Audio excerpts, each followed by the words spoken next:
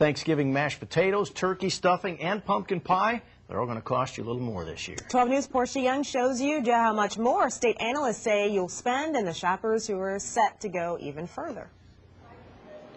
A trip to the grocery store is a window into our economy, a picture of picky people stretching their dollars as far as they can go. And when it comes to Thanksgiving dinner, the story can be told in the tale of two Terrys. Happy Thanksgiving! Terry Fry buys what she needs without really thinking about it.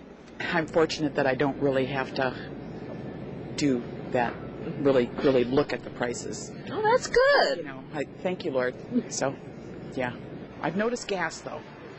Gas has gone up. It costs more to deliver that produce, dairy, and meat, so high gas prices trickle down to your Turkey Day table. Terry McCusker is having all the trimmings. Oh, I'm sure it's going to cost with eight people there probably 150 $200. Now he must be using the good china because the Wisconsin Farm Bureau Federation says feeding eight this Thursday should cost about 40 bucks. Still, that's almost a dollar higher than last year. Here in the dairy state, you know we've been feeling this. The price of milk gone up about 25% since last year.